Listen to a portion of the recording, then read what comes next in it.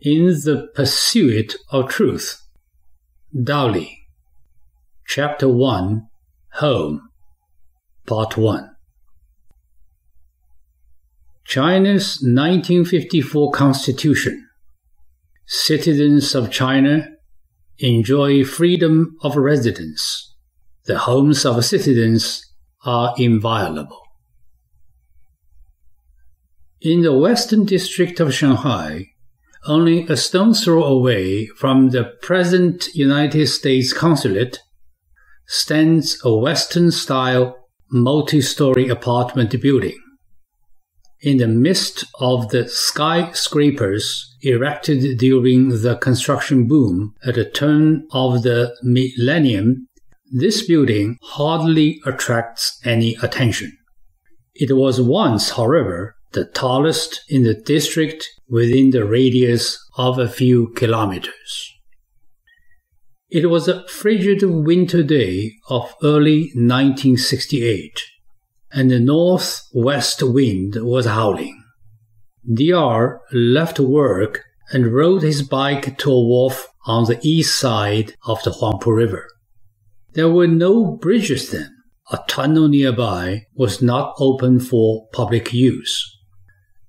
Two green plastic tokens at a cost of about a bowl of noodle soup were the pass to get on the ferry with his old clunker.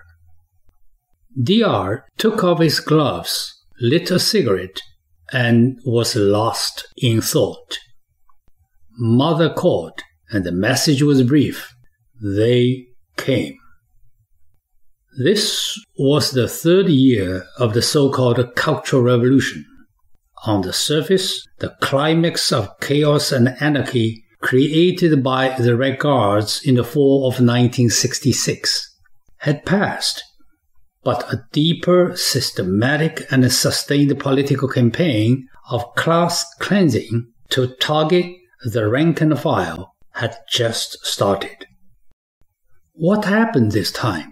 The cigarette burned to its end as the ferry's port side banged against a giant used truck tire hanging at the side of the dock. The ferry door slid open. Passengers swarmed out. Bikers took the lead, and the bells rang as the stream of the two wheel vehicles dashed to the main street. It was the usual 30 minute ride home, the road he had traveled every working day. But this time, for DR, it looked awfully long. DR carried the bike several steps up to the platform in front of the glass gate and then rode it into the hallway flanked by the giant mirrors on both sides. He could not help but look at the left mirror and wondered what was waiting ahead for the guy he saw over there. He greeted the elevator operator and positioned his bike diagonally so it would fit in. With a ding dong, the elevator door opened and he was outside his home unit. DR unlocked the door Nobody was home. He saw on the right side of the corridor that the two rooms facing north were closed. On the vertical split glass door were two large size paper strips forming a cross. On the strips were Chinese characters meaning seal written by a brush pen along with the date and the name of the Revolutionary Committee of the hospital where his father was employed. This was what mother meant by saying, they came. They were the rebels in father's hospital, and they had taken further revolutionary actions, a euphemism for a home raid. A man labeled as reactionary academic authority and once employed by a hospital run by the old nationalist government, such as D.R.'s father, simply could not be allowed to continue to occupy the 100 square meter four room apartment. The sealing of the closed doors seemed to have been done haphazardly, and part of those strips were already hanging loose. DR examined them carefully, and it turned out that not enough adhesive was applied. But the seals, tight or loose, meant that the family could no longer use the space left behind.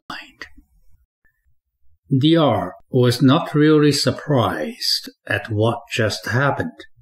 This was a continuation of the lawlessness starting at outbreak of the Cultural Revolution in 1966, two years earlier, when millions of homes were searched, personal properties were confiscated or destroyed, all under the banner of fighting the so-called Four Olds, a political jargon during the Cultural Revolution meaning old ideas, old culture, old customs, and old habits.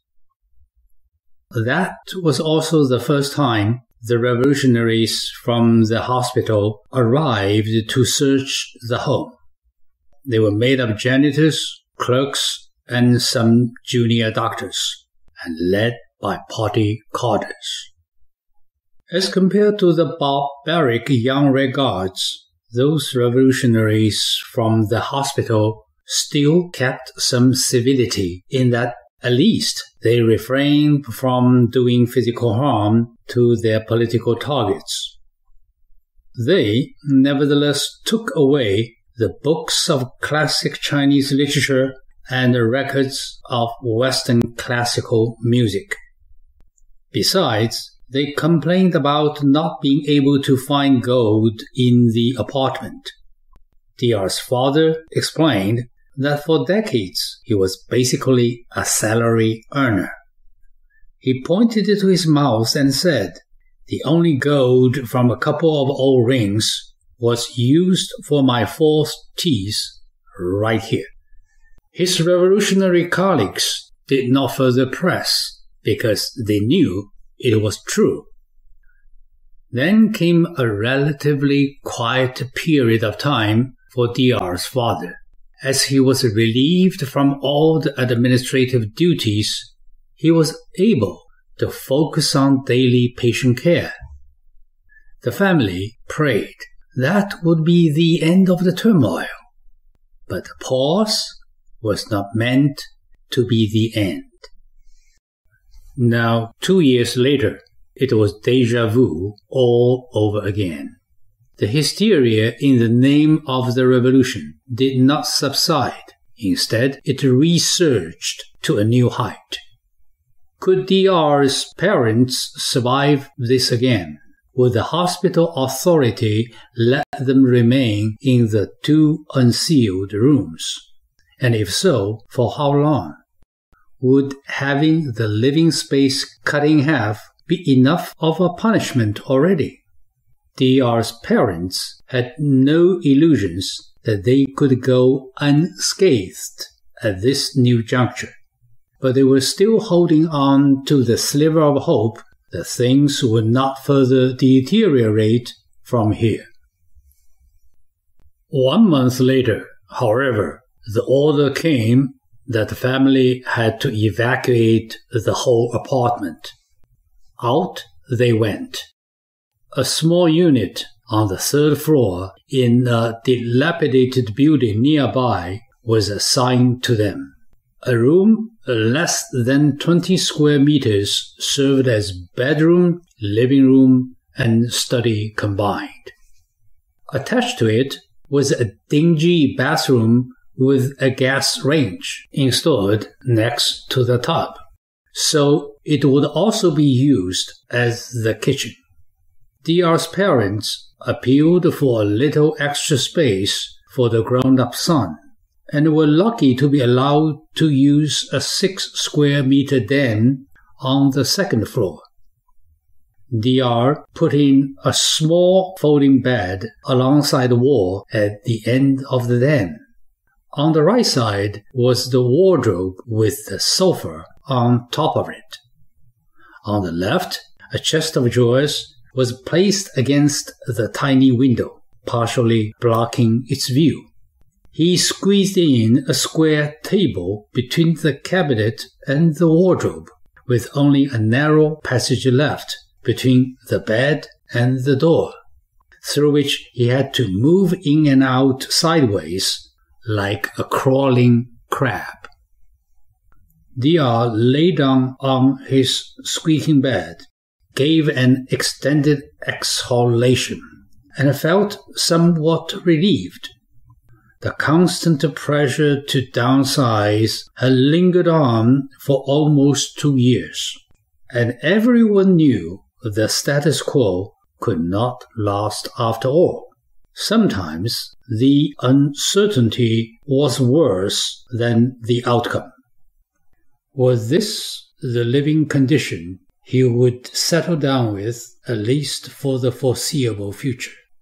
It was amazing how people's expectations could be adapted to reality. This was a moment to reflect. What was DR's reflection? Stay tuned for the next episode.